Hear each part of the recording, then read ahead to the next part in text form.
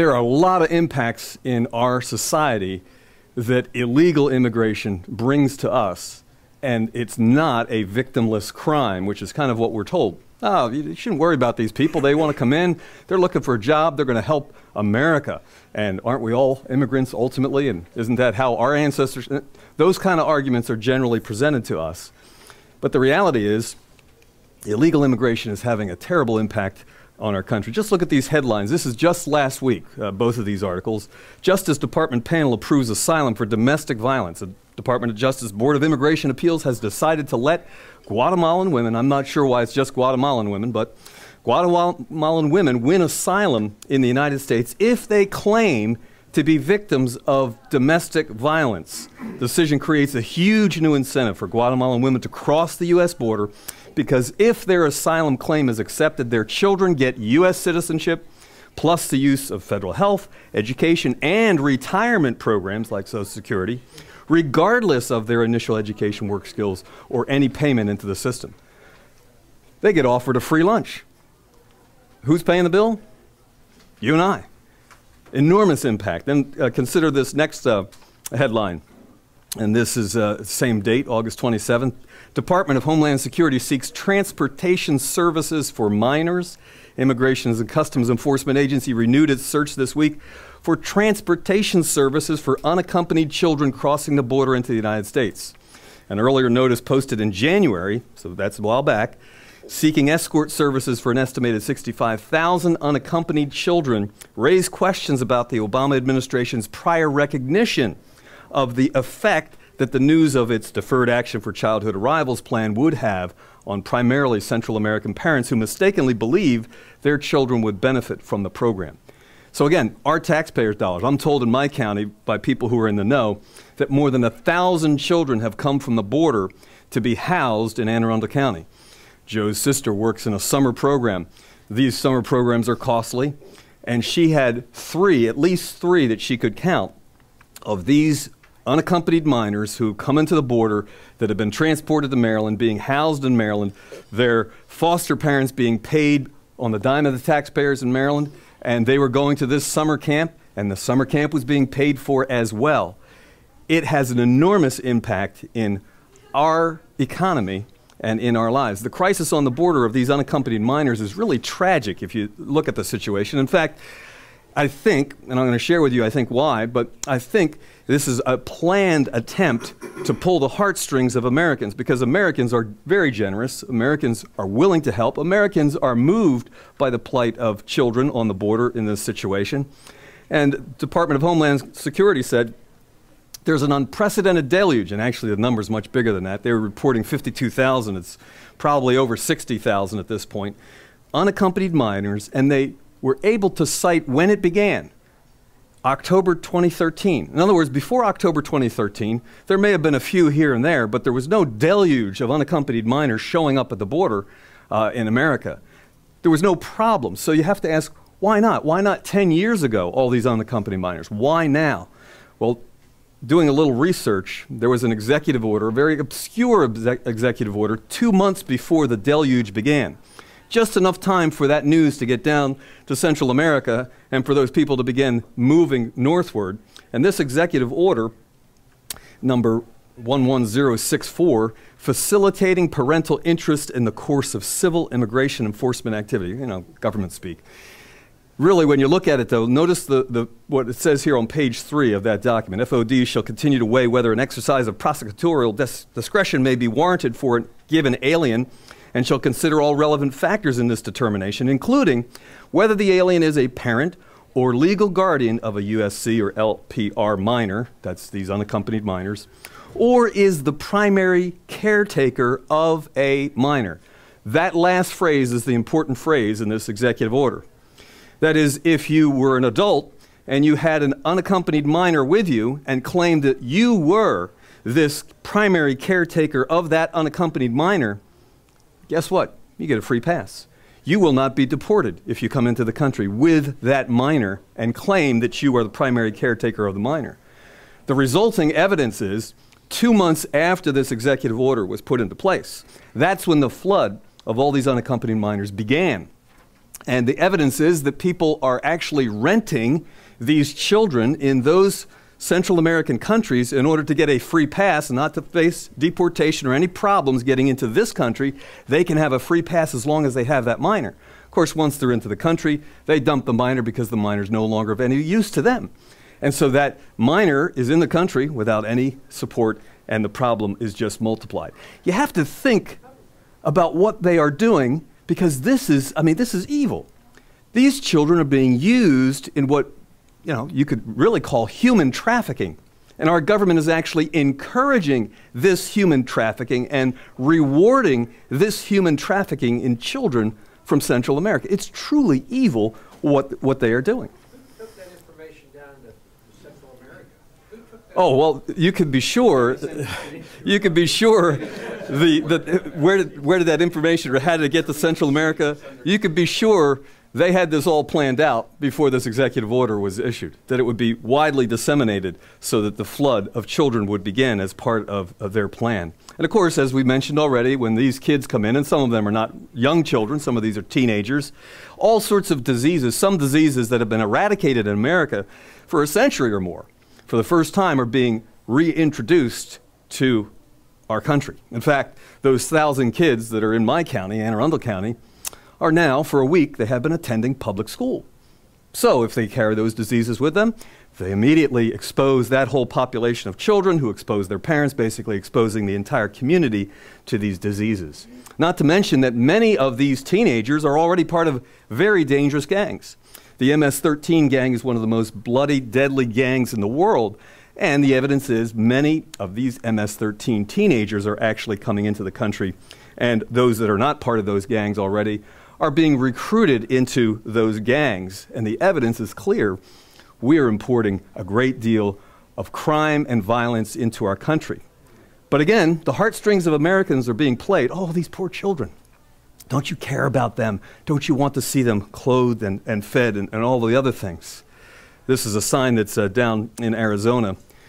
Public warning Travel not recommended. Active drug and human smuggling area. Visitors may encounter armed criminals smuggling vehicles traveling at high rates of speed. Stay away from trash, clothing, backpacks, abandoned vehicles. If you see suspicious activity, do not confront. Move away, call 911.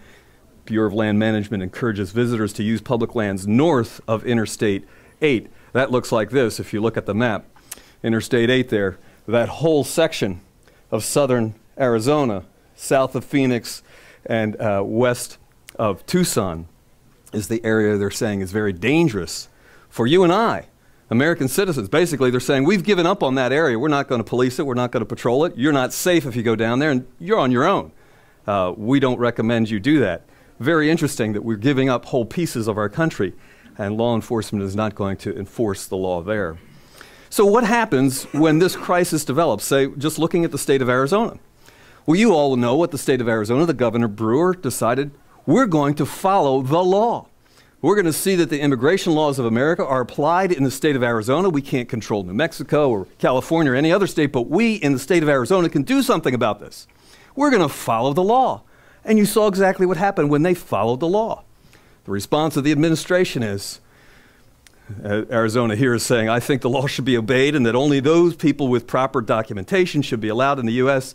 And the administration points a finger and says, a dangerous, divisive, racist. In fact, we're going to sue the state of Arizona to prevent them from implementing following the law. What's going on? We have criminals running our country in Washington, D.C. And the criminals in Washington, D.C. are refusing refusing to follow the law of the land.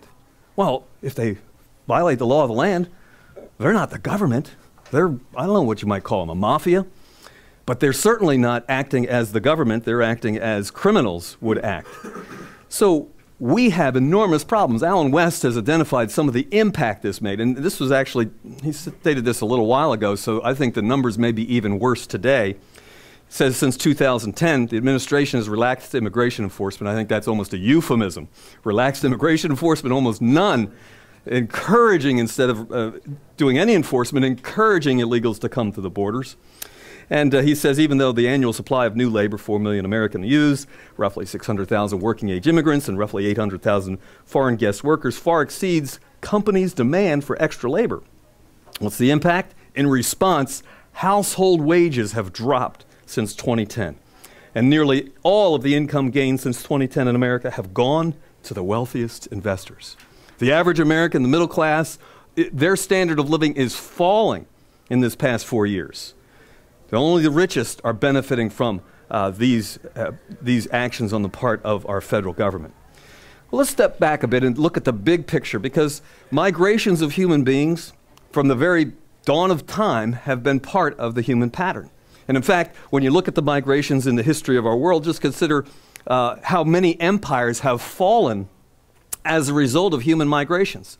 The Roman Empire, as powerful as it was, because of human migratory patterns that were taking place, ultimately led to the d- demise of that empire. It wasn't the only thing. The empire was weak and the empire had all sorts of problems, but those human migrations of the Goths and Visigoths and Ostrogoths and the Huns and most famously the Vandals ultimately destroyed the Roman Empire. And I think that's an interesting and, and really good comparison for our thinking today. Why is it? Because quite clearly, the administration wants illegal immigration to take place. It's encouraging, it's, basically inviting. We'll give you freebies. Come and we'll give you all kinds of goodies. Come. We want you in our country. Why would they do that? Well, they know that immigration can be used as a weapon to destroy an empire. Think of that in, our, in terms of our country, because we're going to come back to that point in, in a few moments. We are, at this point in the history of our country, no longer a republic. We're a republic on paper. Our Constitution says we're a republic, Article 4, Section 4. We're supposed to be a republic, by law, a republic. But we haven't been functioning as a republic, oh, for 50, 80, maybe even 100 years at this point in time. Clearly, when we have military bases in 130 countries of the world, what's that? What's an empire? That's what Rome did. Oh, yeah, they had bases in Britain, they had bases in France, they had bases all over the world, and they were a worldwide empire at that point. We're even far bigger than the Roman Empire ever grew in terms of controlling much of the world. Much of the world is controlled by our Federal Reserve, an illegal private organization that has uh, uh, gutted our economy and controls our economy. They control the whole world through the dollar. So we are a world empire now. And so you have to ask the question, wait a minute, if they're trying to destroy the empire, what, you know, what's their purpose? What's their reason for doing so? But we'll come back to that in a moment. But just to make a note, when we think about migration, human migrations take place all the time. When people realize that there's better opportunities economically for them and their families and their future in another location, then they're going to migrate if they're permitted to do so. Here's an interesting chart that illustrates the flow of migration into the United States and out of the United States. The only one that's out of the United States is the red one there, and that is primarily going to Europe. There are a significant number leaving the United States for Europe. But notice the vast migration from Latin America into the United States. And then there's from Southeast Asia, there's a significant portion as well as East Asia, a significant portion uh, coming into our country. So the vast migration, however, is from Latin America into our country because that's the easiest way to get into the United States. Not to come on the water borders, but to come across the southern border, which is no longer protected. It's as porous as it's, as it's possible to be. But when we talk about migration, most people who believe that the immigration pattern is fine and it's fine to break the law, they do so because they say, Don't you realize that we're all immigrants here? You know, we all migrated. Our ancestors migrated here. We have a tradition of immigration. My first ancestor, John Whitney, immigrated in 1635 and uh, settled in Watertown, Massachusetts, and we spread out from there. But uh, all of us at some point came into this country. Our family came into this country, even if you have any Native American blood, which I do have a little bit of Native American blood. Ultimately, they came probably across the, the water, uh, or either, if not across the water, across the frozen Bering Strait or something like that.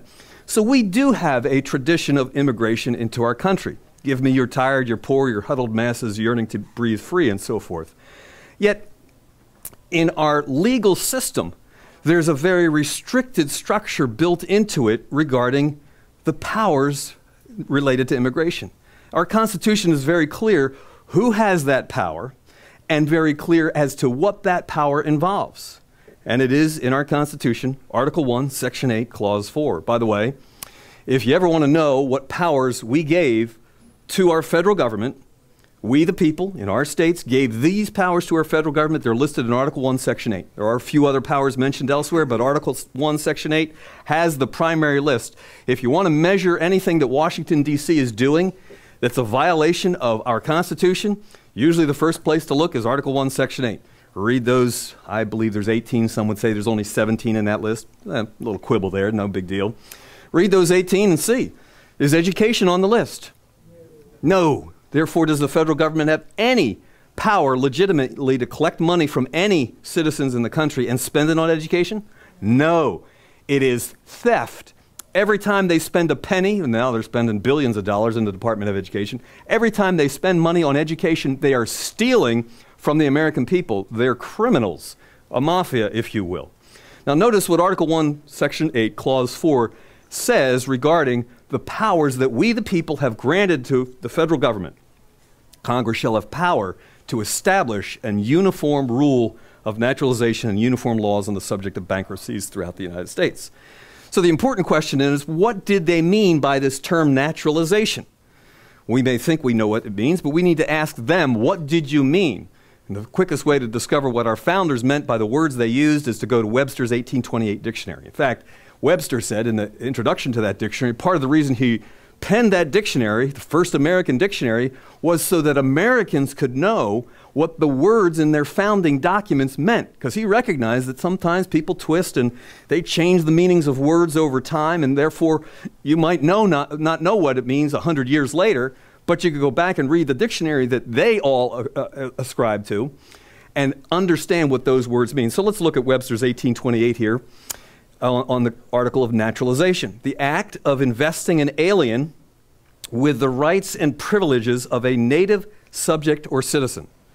So it's a legal decision to say this person wasn't born here, hasn't grown up here, is not a citizen here, but we're going to take them in as an alien and we're going to give them all the rights and privileges as if they were a native or uh, born here or subject or citizen. Naturalization, he goes on to say, in Great Britain is only by act of parliament. In the United States, it is by act of Congress, vesting certain tribunals with the power. So when we're talking about immigration and naturalization, we're actually talking about two separate subjects.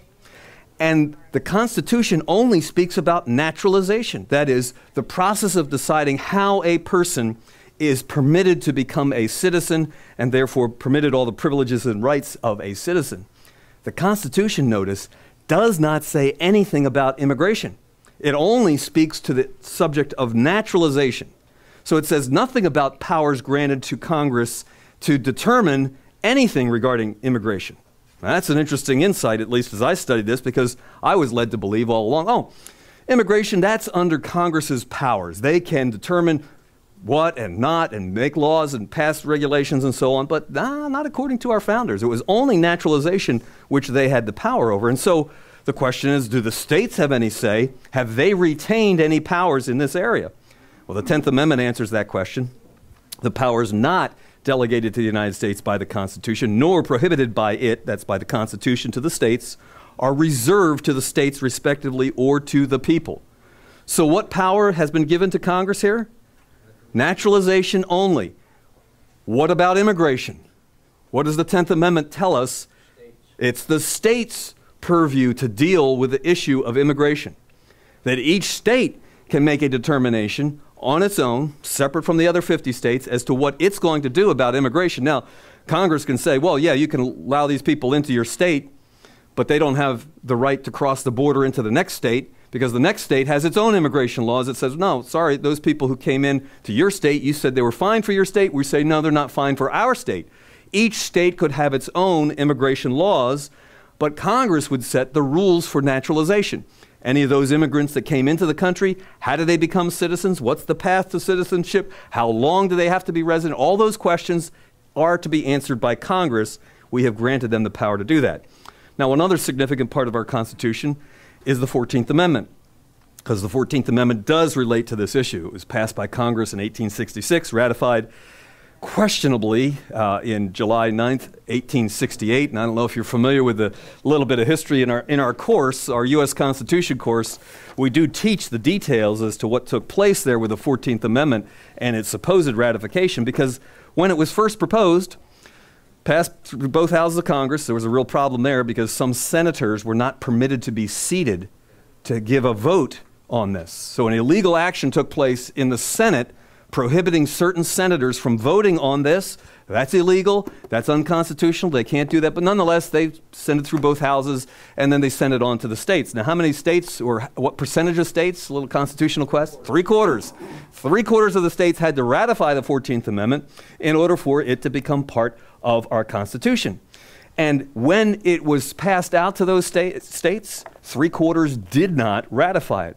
For example, Texas, Georgia, Florida, Alabama, North Carolina, Arkansas, South Carolina, Kentucky, Virginia, Louisiana, Delaware, Maryland, Michigan, Ohio, and New Jersey all voted against the 14th Amendment. Said, sorry, nah, we're, not, we're not for that. We don't like that idea.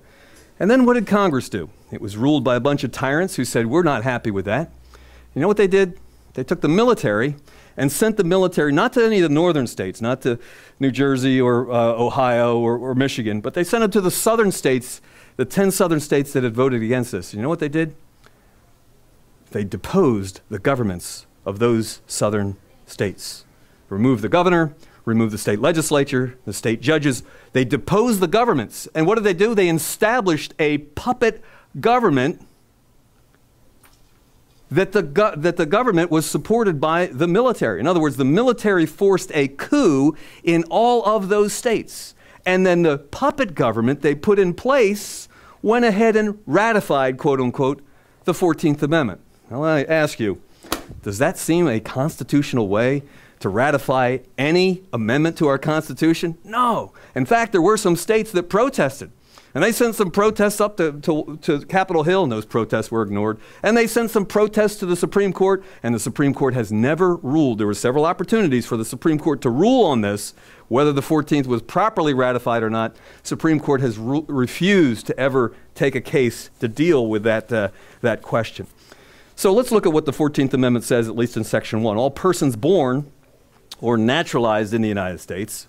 Let's pause there because this leads to the question about Anchor babies. You've heard of anchor babies. You know, a woman stumbles across the border, gives birth to a baby. Well, that baby was born on the soil of the United States, therefore it's a United States citizen, which means privileges and so forth accrue to the mom and the dad and so on, and they can, you know, bring in their relatives because this baby is now an American citizen. That's a false interpretation of the 14th Amendment because notice the next phrase all persons born or naturalized in the United States and subject to the jurisdiction thereof. It's not enough to just be born on the soil of the United States. You must be subject to the jurisdiction of the United States in order for there to be citizenship attached to you being born in the territory of the United States. Uh, and it goes on to say, are citizens of the United States and of the state wherein they reside. And, you know, the issue that was really being addressed here by the 14th Amendment was that slaves who not only could not vote, had no citizenship rights, the 14th Amendment was saying those slaves have been set free by the 13th Amendment, and now we're going to recognize them as citizens. Perhaps those who crafted the 14th Amendment should have done a better job of making clear who they were addressing. That they were not addressing anchor baby issues, that they were not addressing uh, anybody who stumbled in. But this phrase, subject to the jurisdiction thereof, is significant. That is, if a person is a citizen of, well, let's just pick a country. They're a citizen of France, and they're over here on vacation and the woman just happens to give birth a little bit early, you know, she's eight months pregnant, give birth to the baby, and I'll say they're visiting New York City. Does that baby become an American citizen suddenly because she's on vacation? Well, no, no. What's, what is that baby subject to the jurisdiction thereof? France, because the parents are French and not Americans. So I don't think this is, the anchor baby thing is a proper interpretation of the 14th Amendment. And so what the 14th Amendment did, however, is you see it brought power to Washington, D.C. to decide who the citizens of the various states were. You see, when we hear the word citizen, we normally think of, oh, citizen of the United States, right? That's what we normally think. Well, before the 14th Amendment, people never referred to themselves as citizens of the United States. They would refer to themselves as citizens of Pennsylvania, or citizens of Maryland, or citizens of Virginia.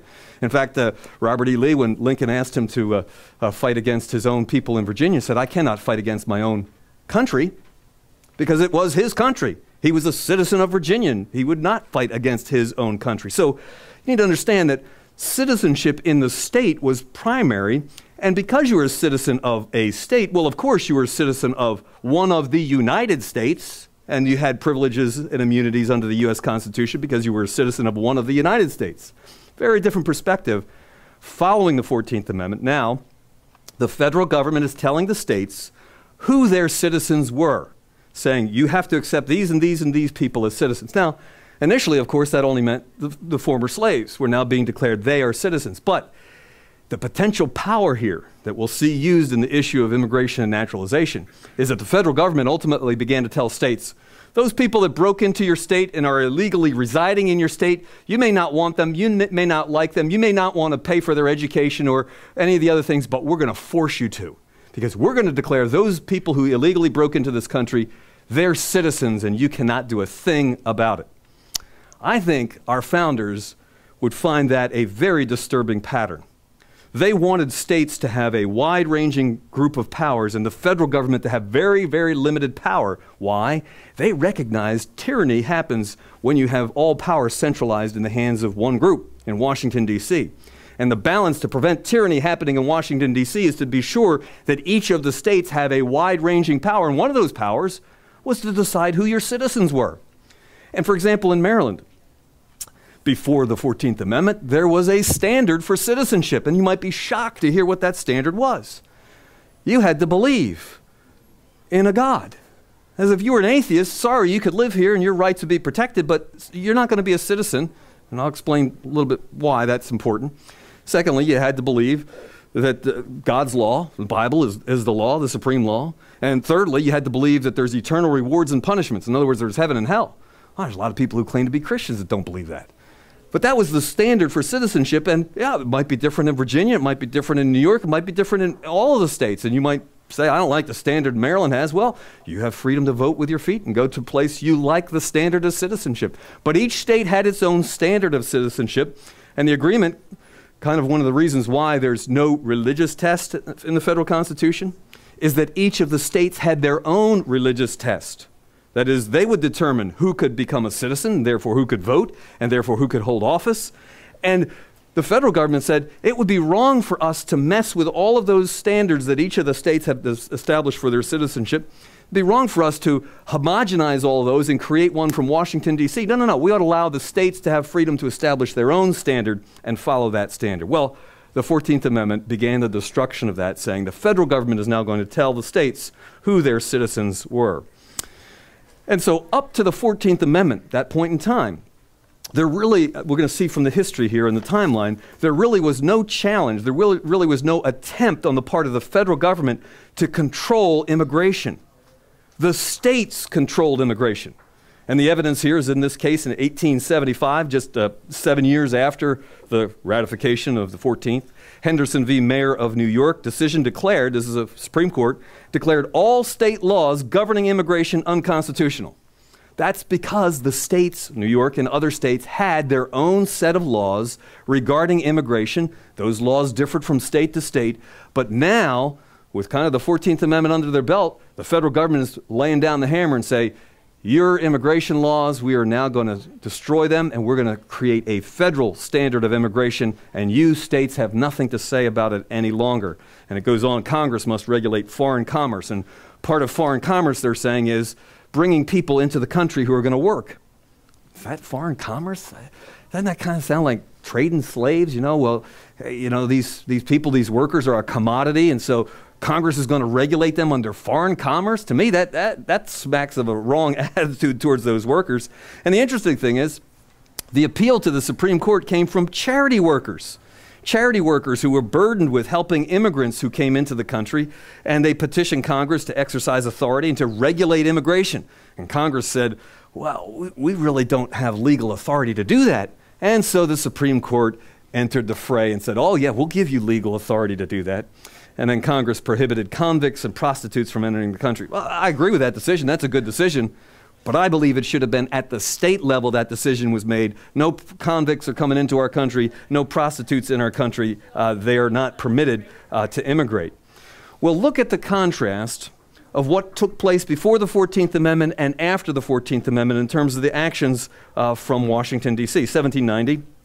Congress adopts uniform rules so that any free white person could apply for citizenship after two years of residency. So they're setting rules for naturalization alone.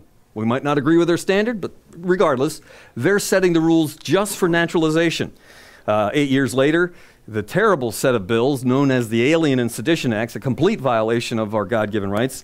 It required 14 years of residency before citizenship uh, could be obtained, and they provided for the deportation of dangerous aliens. And it's interesting to see James Madison, often called the father of our Constitution, and Thomas Jefferson's reaction to the Alien and Sedition Acts. You can read them, the Virginia and Kentucky Resolves, where they basically say if the federal government passes a law and that law is in violation of the Constitution, we, the state of Kentucky, and we, the state of Virginia, are not going to obey that law. They basically said Alien and Sedition Acts, we nullify them, we flush them down the proverbial toilet. Washington, D.C., we thumb your nose, our nose at you. We're not going to obey your illegal illegal, unconstitutional actions because you don't have any right to rule in the area of immigration, is what uh, Thomas Jefferson and James Madison were saying. So it's not my opinion, uh, I hope you see, that I'm trying to present to you. It is what our founders, father our Constitution, and Thomas Jefferson were clearly saying regarding the Alien and Sedition Acts. Um, and this was changed in 1800 to a five year residency required. So again,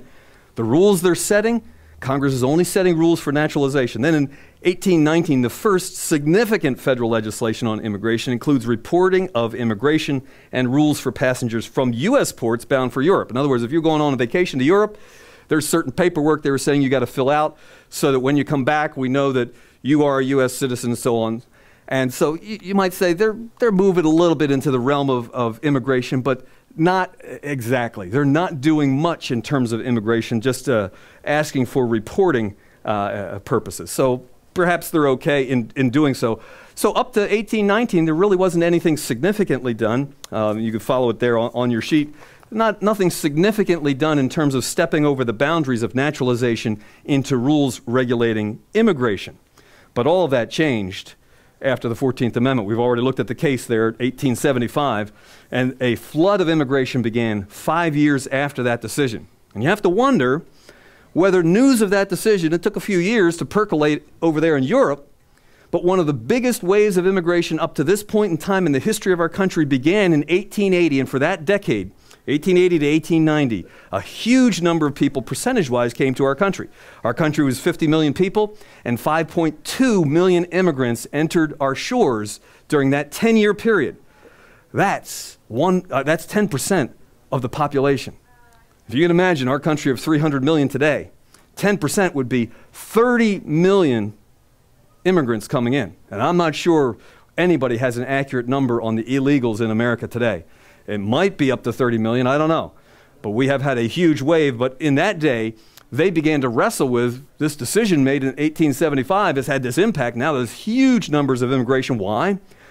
Congress is now in charge of setting rules according to their own standard, rules regarding immigration, not just rules regarding naturalization. Look what they began to do.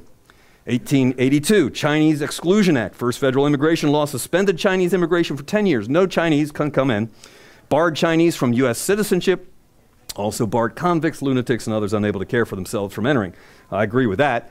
Somebody's not able to care for themselves, they're going to come in here expecting welfare. Sorry, we don't need you. We don't want you. We're not going to support you. Stay in your own country and work out your problems there. Don't bring your problems here and expect us to pay for it. In fact, I like what they did here. And again, there's some good decisions Congress made, even though I disagree with the principle that they had the power to make them. They placed a head tax on immigrants. You're going to come into our country? We're going to tax you because we're going to be sure you're not going to get on the dole. You're not going to be on welfare. You're not going to have us pay for your existence and for your medical and for your education. No, no, no. In fact, you're going to pay us if you come into our country. So, now. we are. We're paying for them. Yep. Three years later, contract labor law, unlawful to import, un- import unskilled aliens from overseas as laborers. In other words, if they don't have any useful skills that are going to help our country and build our country, sorry, Why don't you stay where you are and work out your problems in your own country and don't bring your problems here? These regulations didn't pertain, oddly enough, to those crossing land borders because in 1885, very few people came over land routes into our country. Most everybody came from the sea. Most everybody came to a, port if they were going to enter our country. Uh, legally or even illegally. 1888, for the first time, provisions were adopted for the expulsion of aliens. For 100 years after the Alien Sedition Act, now they begin to say, wait a minute, uh, we were letting all kinds of people into our country that uh, this isn't a good thing. For 100 years, there hadn't been that problem. Why now? Well, Congress had taken control of immigration. It was no longer in the hands of the states. While it was in the hands of the states, there was no mass flood of immigration, and there were no problem immigrants that they were saying, well, hey, there's some bad people here. We need to get rid of them. We need to deport these people. When it was in the hands of the states, that was not a problem. Why? Because government is always best that is at the local level because the people are able to be watchdogs on their government and see that it is doing the right thing. Now, quickly now, just some of the other ones. 1891, Bureau of Immigration established. So here's the federal government expanding their bureaucracy. It's like, oh, now we got all these immigrants, now we got all these problems. That's what Washington does. Whenever there's a problem, we'll create a bureau. We'll hire a bunch of people. We'll tax the poor citizens even more to solve the problem that who created? Washington, D.C. created the problem, and who's going to solve the problem? Washington, D.C., but on your dime, not on theirs, on your dime. More classes of aliens were restric restricted, those who uh, were monetarily assisted by others for their passage, which is an interesting point. If you got somebody to help pay your passage to come here, sorry, we don't want you. In fact, they said steamship companies had to sign a, a, an agreement that if the Immigration Bureau ordered them, they would return that potential immigrant to their home country. So at the port, they were deciding hey, did somebody pay for your, your passage here? Sorry, get back on the ship. You're not entering our country. Uh, you're back to your country of origin. 92.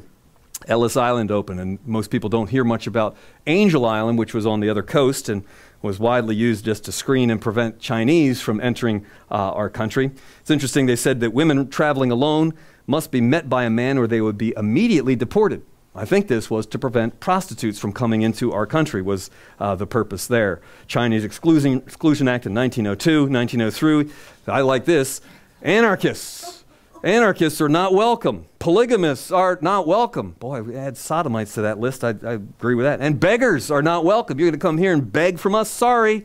We close our borders to you. You cannot come into our country. You are inadmissible in our country. And you know, some people might say, well, David, that's kind of heartless. I mean, here's somebody that has desperate needs. Why don't we just open our doors and help them out?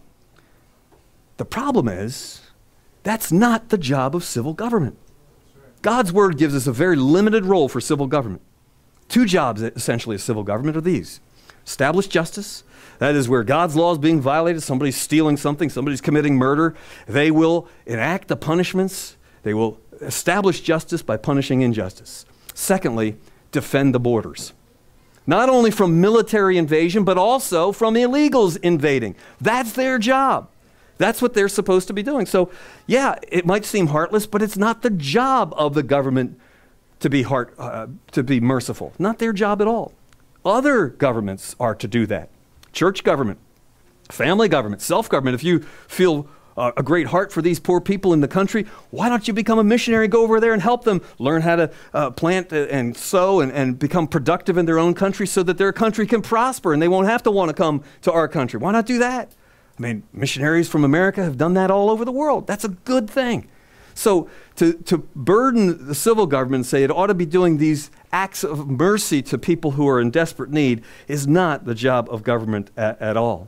And then we see in the 20th century again, eh, in 1906, procedural safeguards for enacting for naturalization. Knowledge of English becomes a basic requirement. If you don't have a basic knowledge of English, we won't even let you off the boat. Sorry, put you back on the boat, go back to where you came from, learn English. Before you come here, learn English because we're not going to try to bilingually educate you while you're here. Learn English, English before you come. That's a basic requirement. Then in 1907, a head tax was raised. In other words, they had been charging a head tax. Now they were going to increase that head tax. And people with physical or mental disabilities, people with tuberculosis, which was a very contagious disease in that day, and children unaccompanied by a parent are added to the exclusion list. Think of what the Obama administration just did. August 23rd, 12, uh, 12, 12 13. They violated this law because I, I, haven't done the research, but I believe this law is still on the books. It has not been rescinded. A child without its parent, that is, if they have a legal guardian, sorry, you're not welcome here. You need to return uh, to your own country. I do not believe that is the standard being used today in adjudicating what happens to these unaccompanied minors. No, they're not following this law at all. They don't care about it. They've just jettisoned the law and they are doing whatever they bloody well please, is what I think. It's interesting what Japan did there in, in its agreement. But uh, 1910 was a Dillingham report regarding new immigrants from Southern and, and Eastern Europe, suggesting that a literacy test be also used to restrict their entry. In other words, they're saying, we want a standard of people coming into the country who are going to be productive citizens as soon as they get here. They're going to help build our country, and if they can't speak English, they can't read, they don't have basic literacy skills, we don't think that's going to be positive. By the way, this list, I didn't put this list together, the list of the folks who put it together uh, there at the bottom, and you can see their bias coming out here thinking that that's an evil thing that you would require a literacy test. I just took their words. I'm just walking through this history because I think it is, is valuable, but I don't agree with their uh, position on, on many of these things. So, literacy tests for anyone over the age of 16 coming into uh, the country. And then we have at 21 a quota established 3% of each nationality present in the United States in 1910.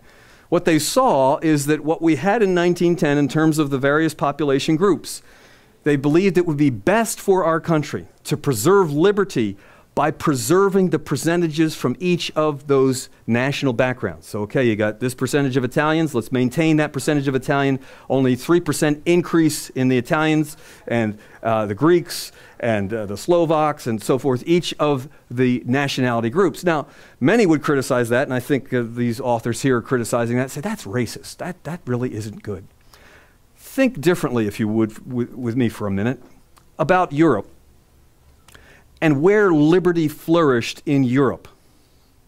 Primarily, liberty flourished in the northern countries and the western countries. Most of the southern countries embraced some form of dictatorship or monarchy. It was very few. And even if you look at those countries, among those countries, what happened in Germany? Well, there was the rise of the Kaiser, you know, a, a king essentially, a monarchy, a dictatorship, if you will.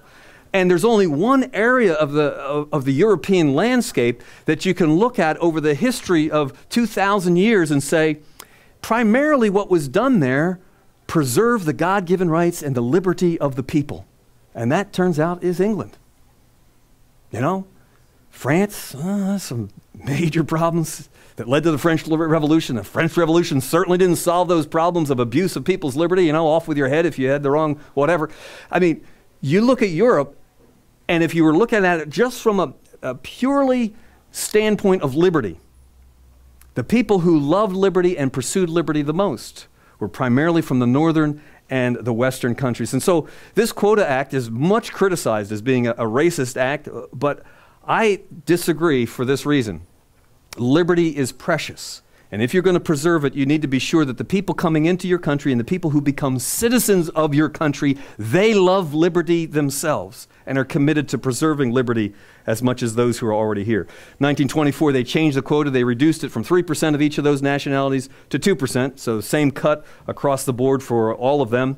It's interesting that uh, the history of Ellis Island shows that many people began to anglicize their name to get in. You know, they said, "Well, I'm not, I'm not from Poland. Uh, let me just change my name here." And and uh, they began to ang- anglicize it, realizing that th- they could get in under that uh, uh that way into our country. Um, and then in 1952, the Immigration and Nationality Act eliminated race. Okay, it says not going to make decisions based on a person's racial uh, uh, uh, background as a bar to immigration, but they did set quotas for certain nations. Japan only 185 per year, China 105 per year, other Asian countries just 100 apiece. Northern and Western European quota was placed at 85% of all immigrants, and then tighter restrictions and so on. And that was a major point that I believe was being argued. If we're going to preserve liberty, we need to be certain that the people who come here love liberty. And not that a person from China couldn't love liberty, but they have a background and a history in their nation that is not liberty loving at all. Similarly with Japan. In other words, we're going to have to do a huge job to educate that person to love liberty where those who come from these other countries, they have a history and tradition of liberty. They will most easily fit in with our culture. It's not that the others can't be educated, but it might be a greater challenge uh, to educate them. And then in 53, they expanded the limit to admit 200,000 above the existing limit for refugees. Recognize there, there are people being persecuted around the world who need an option, and we want to be a rescue boat for some of those people uh, that we uh, select. All of that system that was developed and refined in that time period in the history of our nation was attacked in 1965. And I'm going to share in a moment why I believe in 1965 it was attacked. But the Hart Celler Act abolished all national origin quotas, doesn't matter what country you come from, and it only had separate ceilings for the Eastern Hemisphere and the Western Hemisphere 170,000, 120,000. Uh, and uh, then there were categories of preference based on family ties, critical skills, artistic excellence, refugee status, and so on. But they were eliminating what background and history existed in the lives of the people and saying it doesn't matter whether the people come from a liberty loving culture and a liberty loving background. And uh, Ed Kennedy, Ted, dead Ted Kennedy was a big part of uh, getting that thing through uh, that really began to change the complexion of America. And I'm going to share what I believe was behind that in a moment. But just to, to, to look at the rest of the history there, 1978. Separate ceilings were established for Western and Eastern Hemisphere, combining uh, 290,000 per year. Notice how small that number is.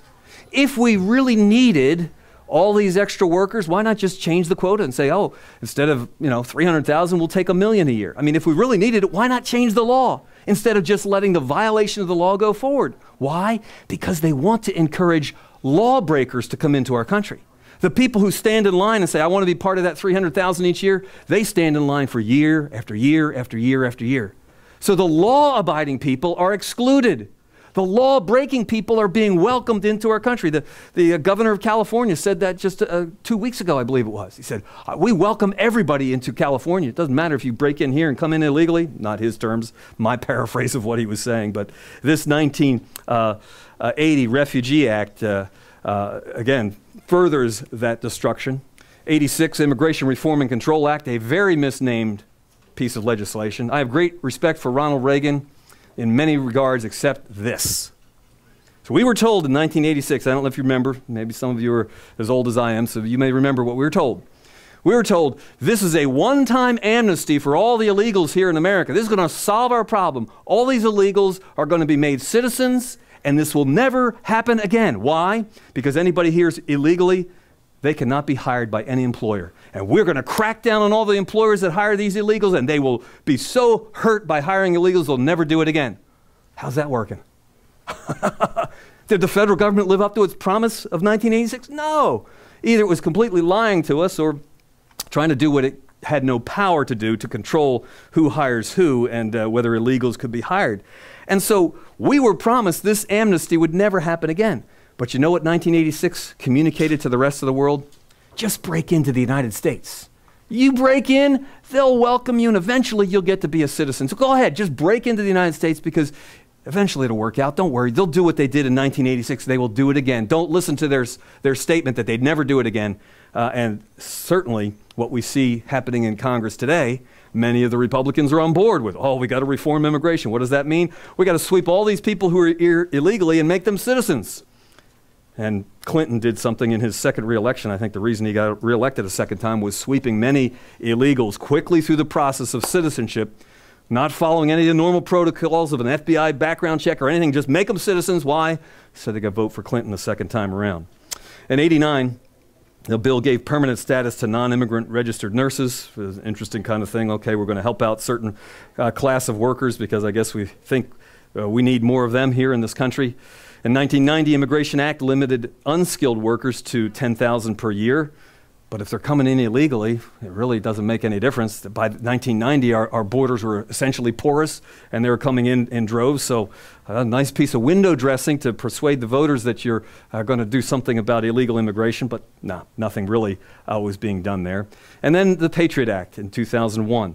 Patriot Act is very poorly named because it's an anti Patriot Act, and many provisions of this act are completely unconstitutional. But on the immigration side, this is what they did They said they were broadening the scope of aliens ineligible for admission or, or deportable due to terrorist activities uh, to include an alien who is representative of a political, social, or similar group whose political endorsement of terrorist act undermines the U.S. anti terrorist efforts, has used a position of prominence to endorse terrorist activity or to persuade others to support such activity in a way that undermines U.S. anti terrorist efforts, or the child or a spouse of such an alien under specific circumstances. Third, has been associated with terrorist organization and intends to engage in threatening activities while in the United States. All that sounds good. It's like, okay, Yes, we don't want to allow terrorists into our country. If we find them, we want to deport them. All of that uh, makes sense.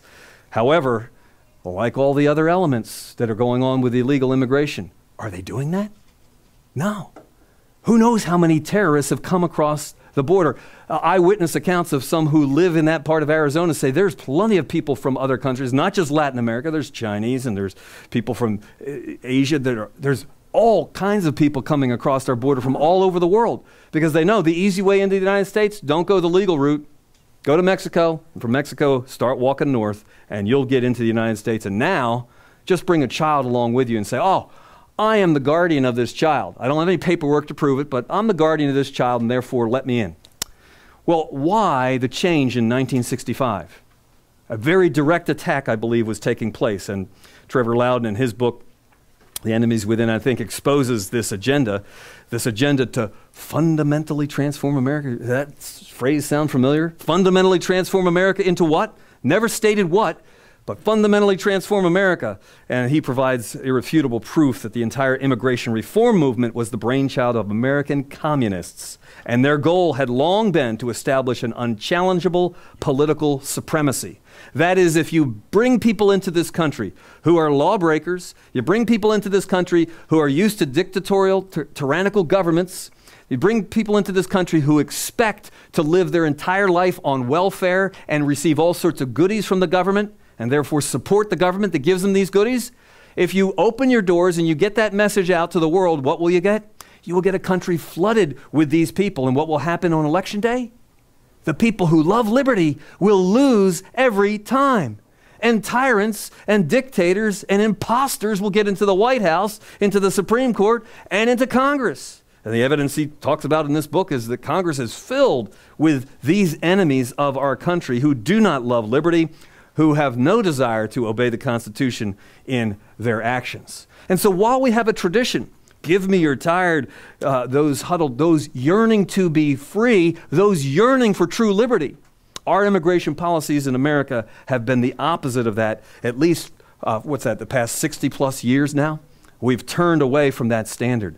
What's the answer? I believe the answer happens on the local level first. It would be good if we had governors who were willing to take action in their own states against the illegal immigration. Jan Brewer took a step in the right direction, and then she said, Oh, a federal court has ruled, and I can't obey the law because a federal court has ruled.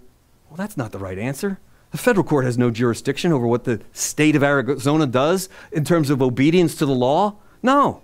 She should have gone ahead and said, that judge needs to be impeached. Let's uh, get our, our, boys down there in the House of Representatives to impeach this federal judge who's violating uh, his or her, I forget which it is, but oath of office.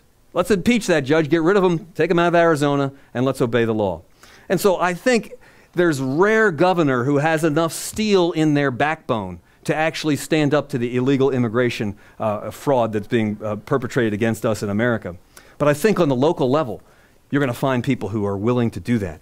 And we have sheriffs in this country that are stepping up to the plate and recognizing just because they get an order from Washington, D.C., doesn't mean they obey that order. Why? They took an oath to uphold the Constitution, not to obey whatever Congress says or the president says, well, the impostor in chief says, or, or what a Supreme Court or a federal court says. No, they're going to obey their oath to the Constitution.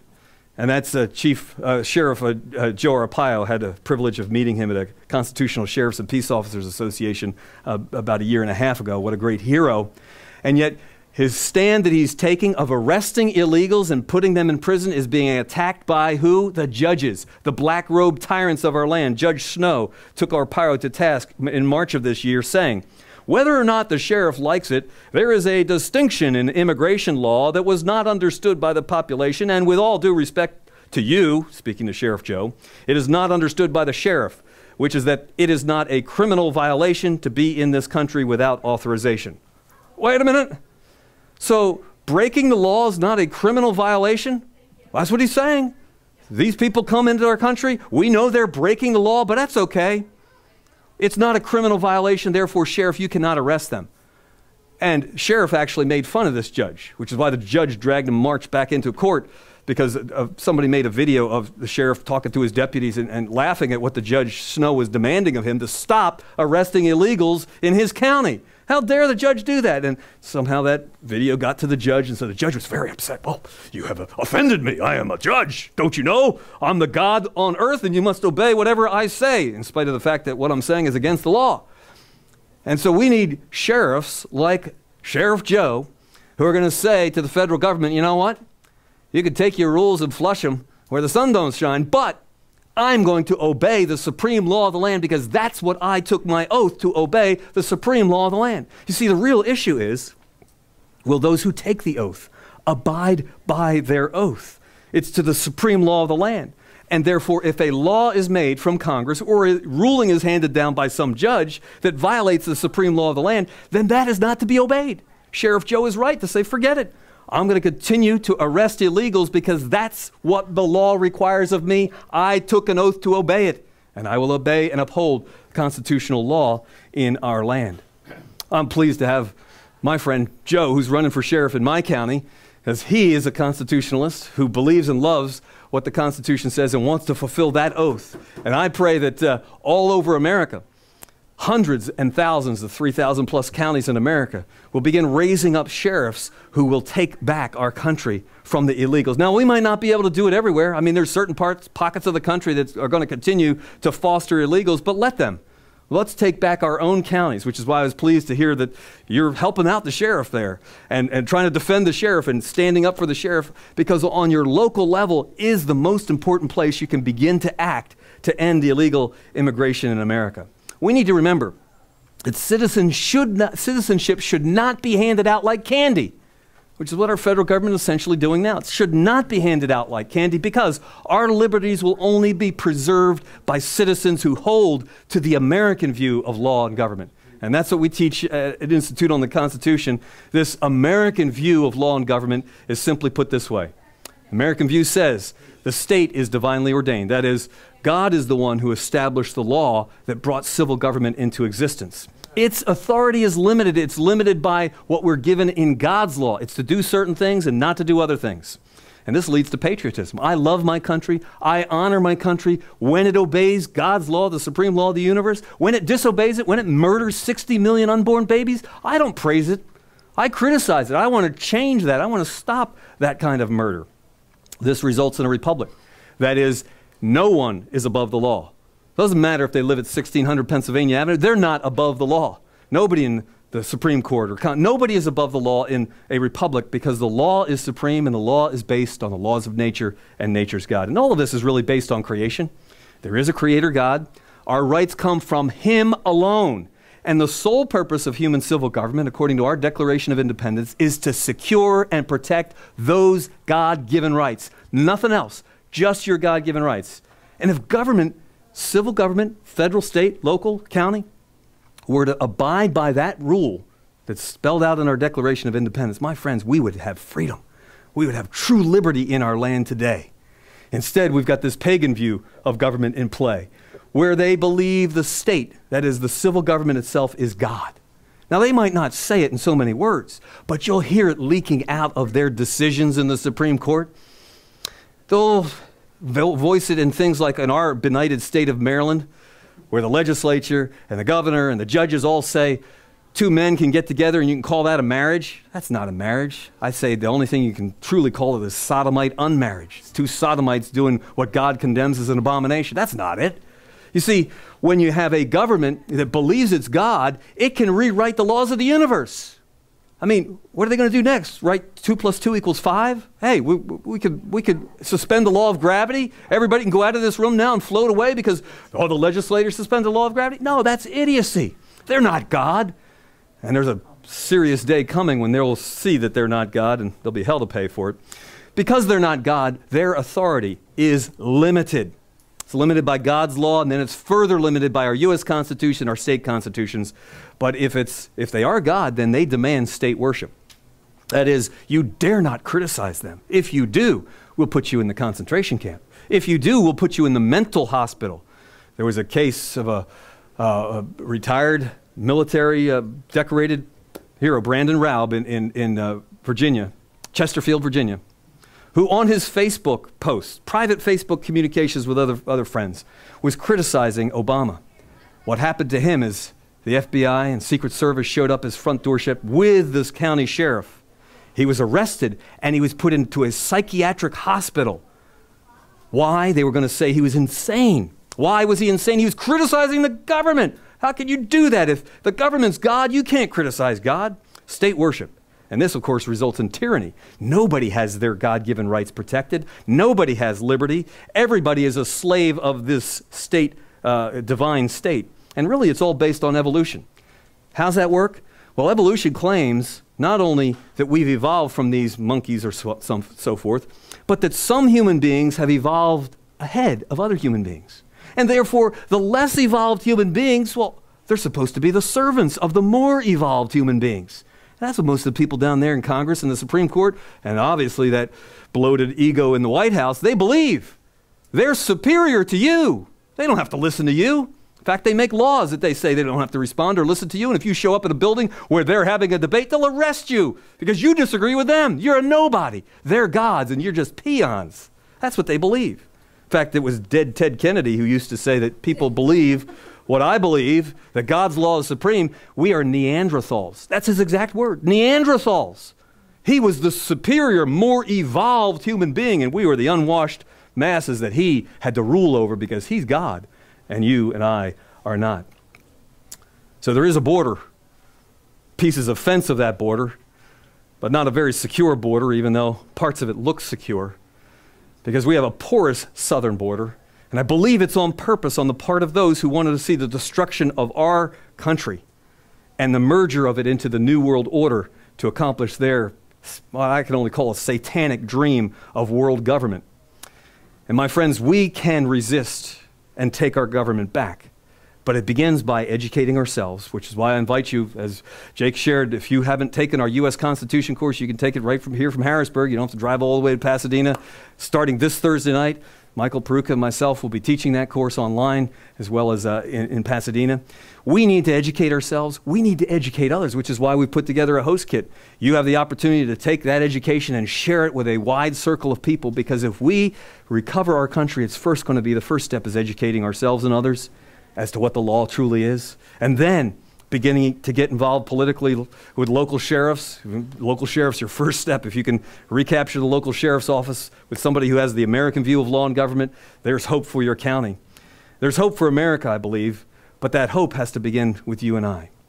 We'll take questions or, or comments at, the, at, this point. Thank you for your attention. I know it's a little warm and uh, I may have gone a little bit long.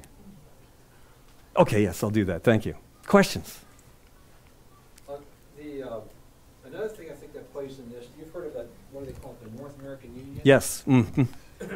Open borders Right. allows, you know, from Canada through Mexico, it's all one nation. Mm-hmm. That's another thing I think that they're pushing for. Yes. Yeah, the open borders policy of basically merging Canada, United States, and, and Mexico into North America or whatever they want to call it, and erasing those borders is part of their strategy. Yes. Yeah. Good. How do you suppose the uh, sheriffs can make a significant um, contribution towards this effort when most of their powers have been usurped? Mm-hmm. Indeed, most of their powers have been usurped in name only. Uh, the question is, how could sheriffs participate and actually help this process when most of their powers have been drawn away? Like in, in our county, there is a sheriff, but he's primarily a paper pusher, and he guards the courtrooms and transports prisoners, and that kind of functions. All, he does no policing. However, in our Constitution in Maryland, it says nothing about the duties of the sheriff. But it does say that English common law is the right of every citizen in Maryland. So when nothing is said about the sheriff, we go back to what does the English common law say about the sheriff? It says the sheriff is the chief law enforcement officer. chief law enforcement officer in the county. And therefore, if you elect a constitutional sheriff, like we hope to do in Anne Arundel County, that sheriff can just recapture those powers and communicate to the chief of police. You know, you're commissioned by the county council and you have all the. But you know, I'm following the Constitution, and I want to put you on notice that I am going to be policing this county according to the standard of the Constitution, U.S. and state constitution, and the charter of the county. Uh, and don't try to stop me. So basically, if you have sheriffs who have some backbone, they can recapture the powers that are still there constitutionally for their position. But they have been told, oh, you, you don't have those powers anymore. So it takes educating sheriffs uh, to accomplish that. Just real quick, in the 1828 dictionary, if you look up marshal, U.S. Marshal, says appointed by the president, approved by Congress, under the authority of the county sheriff. Amen. So a federal official cannot do anything in a county unless the sheriff okays it. That's right. So a federal. no power. The FBI, Right. ATF, the sheriff can ask him to leave. And, and the proof of that is multiple sheriffs around the country are waking up to this and beginning to resist federal uh, enforcement in their county. In Indiana, Elkhart, Indiana, Brad uh, Rogers, Sheriff Brad Rogers, there was a farmer doing the horrible evil of selling raw milk. Oh, this is criminal. And five federal agencies were attacking that farmer, attempting to shut down his dairy farm. Oh, you violated this and blah, blah, blah, blah. Finally, he had enough and he said, he called his sheriff and said, Sheriff, I don't know if you can help me out in this situation, but these federal agencies are out of control and they're trying to shut me down. I said, I'll come out. Came out, inspected his farm, said, There's nothing here that should warrant shutting this farm down. He simply wrote a letter to each of those five agencies and said, in no uncertain terms, I am the sheriff of this county.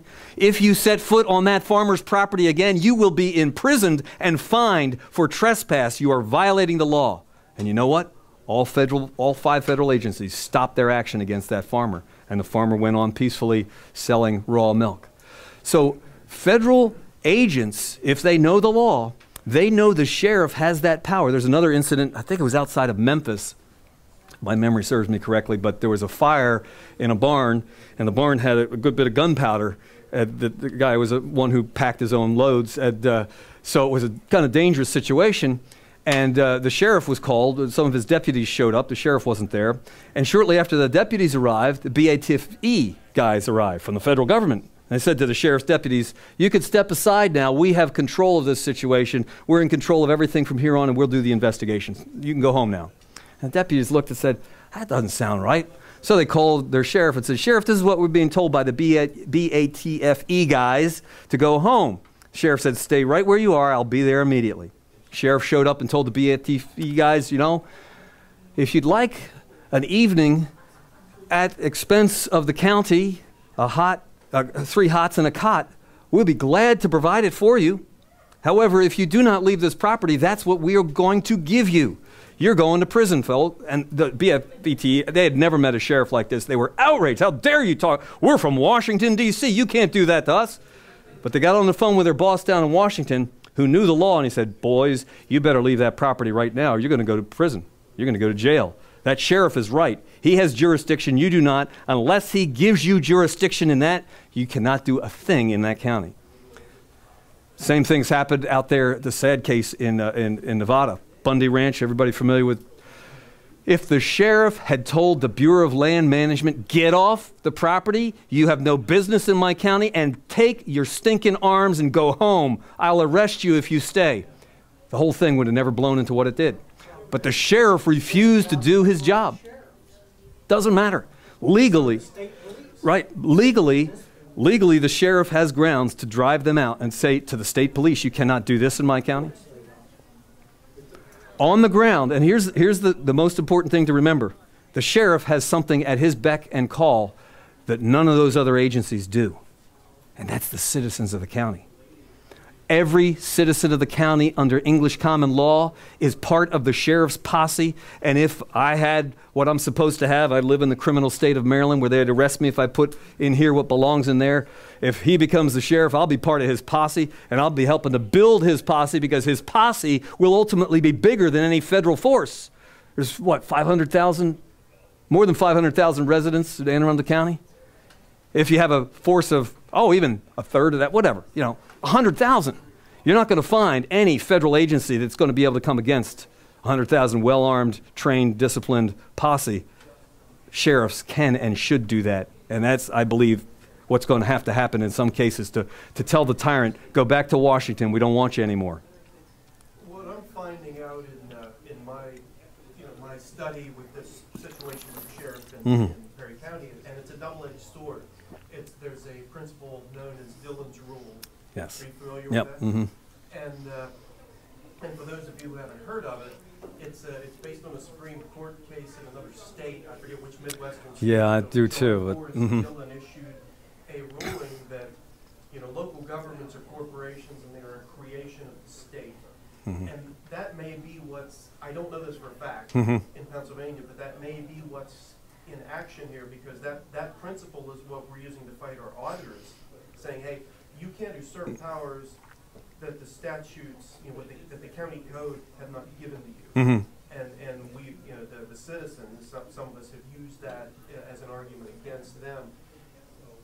So I don't know what, I don't know what the county code says about the sheriff's power. And- That's how, how it Mhm. be interpreted here in Pennsylvania. And, and some county codes may say something specific about the sheriff, but I, I suspect many of them say almost nothing. They just say there must be a sheriff. And in that case, English common law governs what that sheriff does. What our founders 1828 dictionary talks about the role of the sheriff, and there's a huge work Anderson's on sheriffs that talks about the powers of the sheriff, and it is the old-time sheriff you imagined in the West that when the bad guys came into town, he had sheriff and two deputies. He couldn't fight the, the gang that came, so he raised his posse. Citizens, they all came together and they went out riding as a posse against the, against the bad guys. Just real quick, and I'm not sure in Pennsylvania, but in the state of Maryland, sheriff's office is actually a state office. It's not a county. Hmm. I don't know if you look, if you look at the cars, in the state of Maryland, the sheriff's cars say SA, not LLL. Right, Local state government. They're state, gov- so I'm not sure. In Pennsylvania, is definitely a county office. Mm-hmm. Now, now, and, I mean, the whole function of a Maryland sheriff is different than a True, Pennsylvania sheriff. yeah. in that, uh, I, I've never been given a speeding ticket by a Pennsylvania sheriff, but I have by a Maryland sheriff. Middletown, the night, the best part of it is he cost me about half as much as it does in Pennsylvania. so I get mine. Anyway. Yes. I can't find anything in the Pennsylvania Constitution about sheriffs except that it says they're elected. Okay, sheriffs are elected by the Pennsylvania Constitution, but nothing in addition to that. Uh, Tight-knit presentation. You concluded with a little bit of an attack on the tyrants in Mhm. Washington. I would just submit that we put them there, True. and if we let them stay there, then all of this is our fault, Mm-hmm. Yes.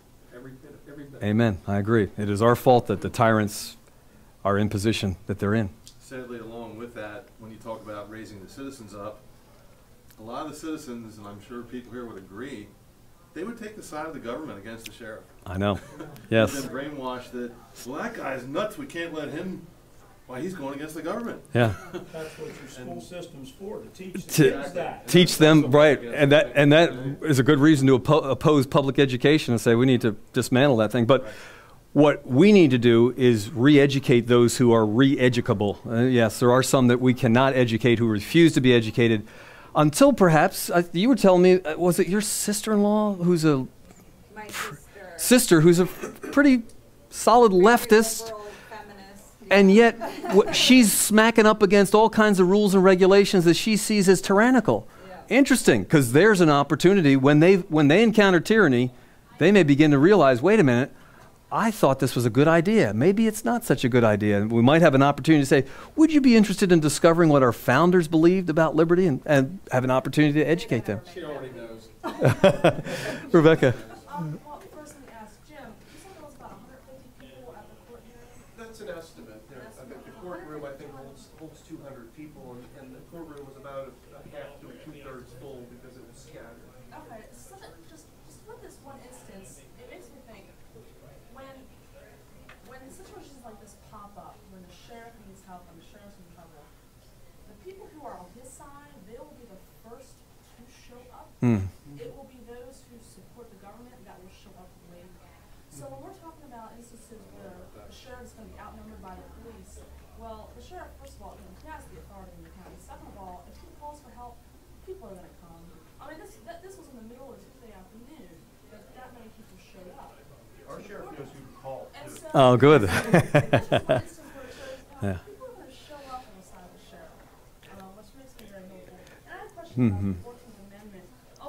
Before you mention that, can I just follow up on what you just said? Because Sheriff Arpaio has been building a posse for more than a decade. I, I, think it's maybe 15 years or maybe even up to 20 years. He has. He won't reveal his, his total numbers, but it is known that he has more than 3,000 members of his posse, Maricopa County, Arizona. It's a 3,000 member posse with specialties in many different areas. You may have heard of the cold case. Those that looked at Obama's supposed birth certificate and examined it, it was his posse that did that. Volunteers, no taxpayer dollars expended to do the research and say this thing's a fraud, and we've got the evidence that proves it's it's it's a fraud. So, the idea when I share the idea of a posse, people say, ah, that could never happen. Not in 21st century America. That's impossible. Well, Sheriff Arpaio, Arpaio is doing it, and there are other sheriffs around the country. We have a friend in uh, Sussex County, Delaware, who's developing a posse in, in that section of Delaware with extreme resistance from the state legislature, the uh, you know the state police. Everybody is in, in authority, including his own county council, is resisting him, but he's moving ahead uh, nonetheless. So it, it is possible to do that. Go ahead, Rebecca. Just an Yeah. with Arpaio, it shows that, um, there's certain duties of the department that may, may not need to use taxpayer dollars. At all. You can have Yeah. volunteers. Yeah. Okay, um, with the Fourteenth Amendment, I was just wondering if, if you considered if, um, that the Fourteenth Amendment itself is in a way preventing Congress or the White House from changing immigration laws. Hmm. If, if that sentence, only those born after of Mhm. um, they've used that and they've interpreted that such a wide uh, way, but in a way it also restricts them from doing whatever. Right. There is there is some restriction that the Fourteenth Amendment does place. I was wondering if Yes. And, you know, I'd like to unring that bell, but at this point, I think it's pretty difficult to unring that bell. Um, likewise, with some of the other illegally passed amendments, the 15th was passed in the same manner, and therefore the 15th I don't think is legitimate. The 16th was passed by a whole series of frauds and deceptions. 17th passed by frauds and deceptions as well, and I've got the evidence, and we, sh- we share that evidence in, in our, court, our U.S. course. That, so there's four amendments that really I think were illegal, and uh, basically, if states wanted to, they could say, we're not going to treat them as, as law. But there is, there is some power of restricting what the federal government does because the 14th Amendment exists. Whether that's a plus for us or not, uh, uh, yeah, it's a toss up. Right now they're coming in the country, but they're not becoming citizens. Until, they, until the new deal that gives them blanket amnesty to anybody that's illegally in the country, which is what they're all working for, including the Republicans. I mean, people talk about Marco Rubio as, boy, he's a real great patriot, and it's like, wow, he supports this type of amnesty of some sort or other. I don't agree with it. I'm sorry. You know, people might be a fan of Marco Rubio, but his position on immigration, I, I strongly oppose. Um, uh, thank you. Uh, you've given us a, uh timeline of Mhm. all, uh, material events, you know, Yeah. leading up to where we're at right now. And I noticed that, you know, the vast majority of them are all acts or there's an informational, uh, bit, Mhm. you know, of data. Is the executive order from August twenty-third, two thousand thirteen, uh, that was by presidential Right. order? Presidential Is that executive order. One that's modified, or, or to be considered modified, the Fourteenth Amendment? I, I'd have to go and look at a wide range of the executive orders because there's all kinds of things in these executive orders that are kind of hidden from us as people because they're not passed by Congress. They're not debated by anybody. The president just puts his moniker on there and says, oh, that's, that's what we're going to do. So there may be others. Materially- Do they Mhm. materially change the intent of an act? They do not. Right. They do not. They apply only. To the executive federal branch. of the. Right. And supposedly only to the executive branch of the federal branch of the government. Legally, that's what they're supposed to do. However, because Treasury is over ICE and the other immigration forces, it does affect what they do. So the ICE agents are being told, hey, this is, this is, what, the, uh, this is what the rule is now. Yeah. Yes. Two, two more quick questions and I want to wrap up. Okay. Yes. Oh, um, I was wondering if you could comment on something that I heard, you know, somebody told me that this, this whole issue really is all about Texas. And, you know, if we can just turn Texas red, then Mhm. we don't matter here, we don't ma- nothing matters. Um, do you- Yeah, the, the question of is this really about turning uh, Texas into a red state from a blue state? And I would agree that Texas is one of those swing states that may change everything in terms of, well, presidential elections, for example. And so if they can capture them politically and lock them into a leftist mind uh, uh, an election, then yes, the, the whole country will be tilted that way. Because right now, as is quite obvious in the presidential elections, usually we're pretty close. I mean, it's, it's a few this way or that way that, that swing which direction it's going to go in terms of the electoral college. So, yeah, I think there is a good argument to say, and that's why what's happening in Texas is interesting because the governor's resisting and receiving all sorts of pressure from you know Washington to cave in uh, to the agenda because if they know if he caves in, then yeah, they would change the complexion of our, our, our electoral process. Yeah. Thank you.